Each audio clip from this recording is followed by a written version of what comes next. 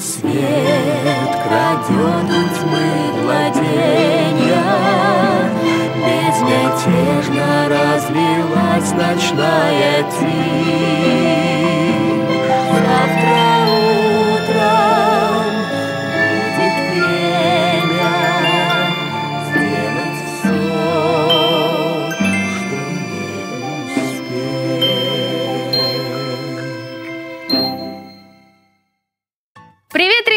Я точно знаю, вы любите домашних животных. Отлично!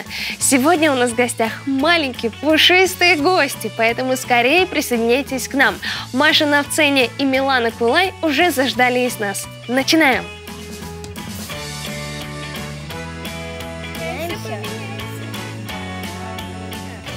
А ты уже назвала их как-то? Да, только одного своего любимчика, потому что скоро они поедут жить в другие дома. Вот этого, посмотри, его зовут Мурзик. А я бы его назвала Грызунчика. Привет, девочки! Привет. Это что за милые гости у нас сегодня в программе? Это кролики у нас тут. Кролики, ничего себе, какие милые! Так, ну-ка я возьму. Ой, они совсем ручные, да? Да. А они что, бывают трусливые? Представляешь, многие думают, что зайчики, кролики трусливые. Как вы думаете, почему люди так думают? Я даже и не знаю. Давайте положим обратно наших кроликов.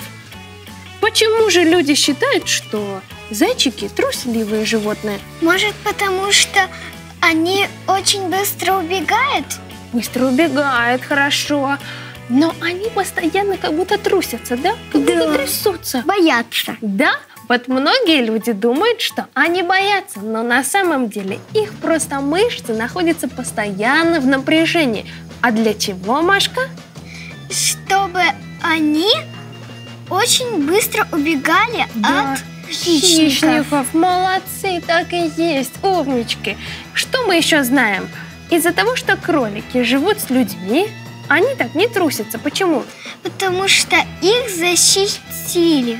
Они... Потому что они не боятся, что им кто-то нанесет вред, да? потому, что они живут дома. Да, они живут дома, чего бояться-то, И у да? них есть свои хозяины. Да, хозяева. Замечательно с этим разобрались. А что еще мы знаем о зайчиках?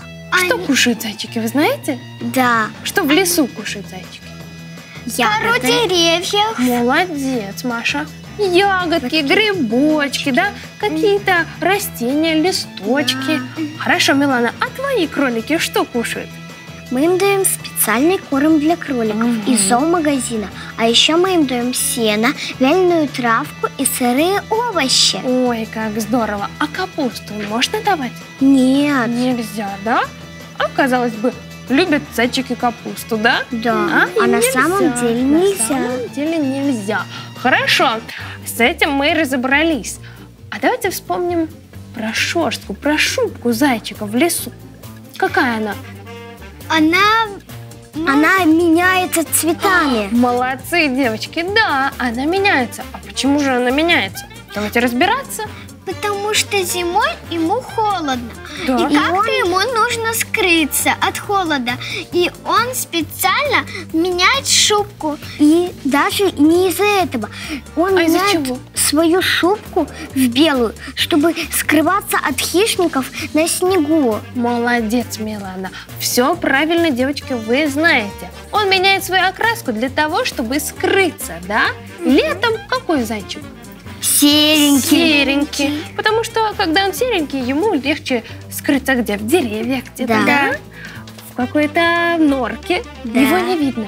Но когда наступает зима, падает снег, и представьте серого зайца, что? Его будет видно. Конечно. И сразу хищник его заметит. Конечно же, Машенька. Именно поэтому он меняет свою шубку на белую.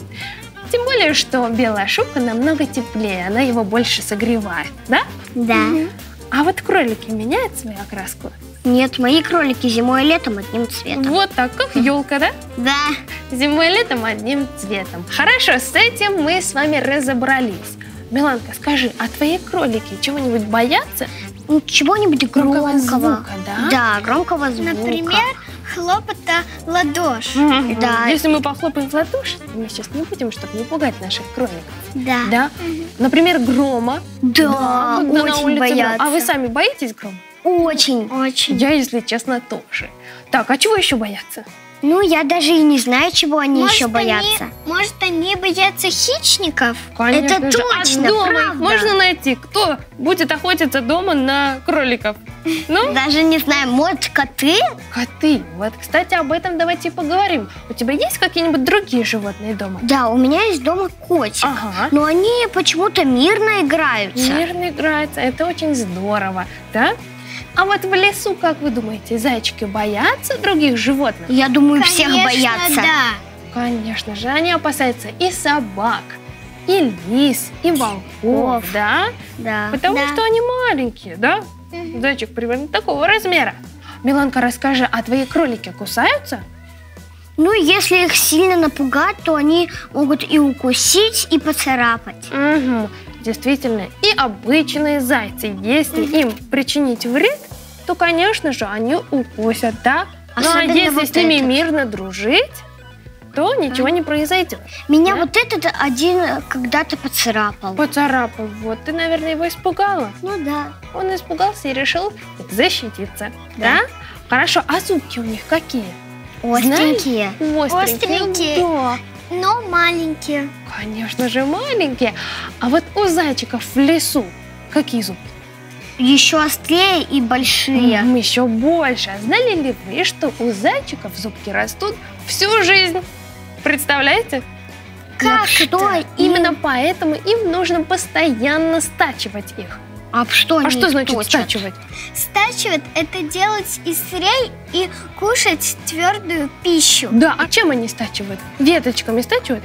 Да, Веточками, корнями. корой, деревьев. Молодцы, какие вы у меня умнички. Ну, морковкой, ну, они стачивают, но от нее ничего хорошего. Мгм, действительно, она для нас больше полезная, да, Да. чем для зайчиков.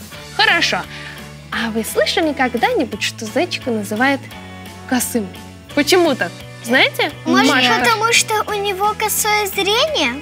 А вот и нет. Может быть, еще есть какие-то предположения? Милана, знаешь? Может, он м, криво А. прыгает? Вот, молодцы. Его так называют из-за петляющего бега, да? А еще Он теряет след. Из-за того, что он любит путать след, да?